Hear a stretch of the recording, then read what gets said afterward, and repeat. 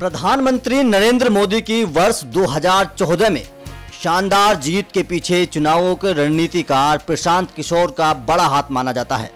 लेकिन 2014 के चुनावों के बाद प्रशांत की राह बीजेपी से रुखसत हो गई और वो बिहार में नीतीश कुमार के रणनीतिकार बने, जिसके बाद बिहार में महागठबंधन को भारी जीत मिली थी और बीजेपी को हार का मुँह देखना पड़ा था। लेकिन यूपी विधानसभा चुनाव में प्रशांत ने कांग्रेस के लिए काम किया। लेकिन इस बार उनकी रणनीति कारगर साबित नहीं हुई। और कांग्रेस को उत्तर प्रदेश के विधानसभा चुनावों में मुँह की खानी पड़ी। उसके बाद से पीके पर लगातार सवाल खड़े होने लगे। लेकिन अब ऐसे कयास लगाए जा रहे हैं कि एक बार फिर से प्रशांत किशोर टीम मोदी के साथ वापस लौट सकते हैं। हाल ही में प्रधानमंत्री नरेंद्र मोदी की प्रशांत किशोर से मुलाकात हुई है, जिसके बाद से राजनीतिक गलियारों में चर्चाएँ ज़ोर पकड़ रही हैं।